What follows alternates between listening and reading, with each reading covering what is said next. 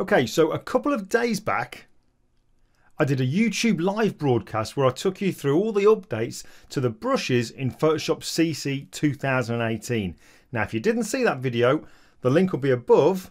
It'll also be at the end of this video in a little thumbnail. However, during the YouTube live, I forgot to tell you an important keyboard shortcut that's just been introduced. So let's just quickly dive into Photoshop and I'll show you what that is. First though, a very, very quick reminder.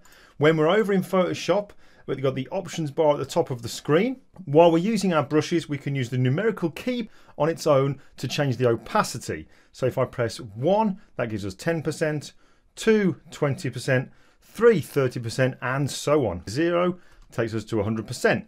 If we want to change the flow, the keyboard shortcut, hold down the shift key and then use the numerical key. So again, holding down the shift key, pressing 1 gives us 10%, 2 20%, 3 30% and so on. If we press 0, takes it to 100%.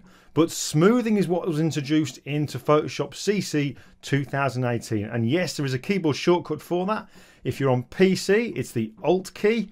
If you're on Mac, it's the Option key. So holding down that key then pressing the numerical key will take you through all the actual numbers there. One for 10%, two for 20%, three for 30%, and so on. And again, pressing the zero will take us back to 100.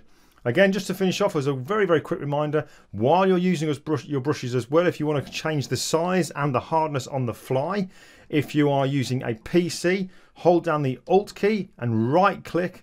And if you drag right, it increases the brush size. If you drag to the left, it decreases it.